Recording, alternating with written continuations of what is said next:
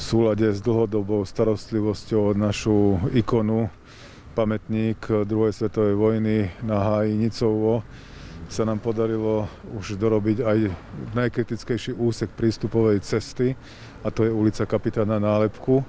Takže dnes môžeme e, dôstojne prichádzať k tomuto pamätníku, ale aj k celej výšine Hájnicovo, pretože ona má viacero funkcií.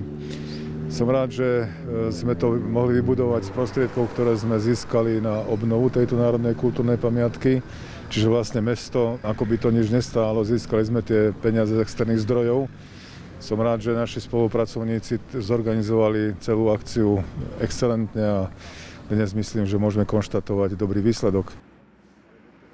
Okrem nového asfaltového povrchu, ktorý dostala cesta, sme vybudovali obrubníky po jednej strane vozovky, tak aby bola oddelená od parkovacích miest. Kompletne sa vyčistilo odvodnenie, ktoré bolo zamúlané a menej funkčné, teraz je úplne funkčné. Vybudovali sme ešte bezbariérový priechod prechodcov na začiatku komunikácie v križovatke s ulicou Československej brigády.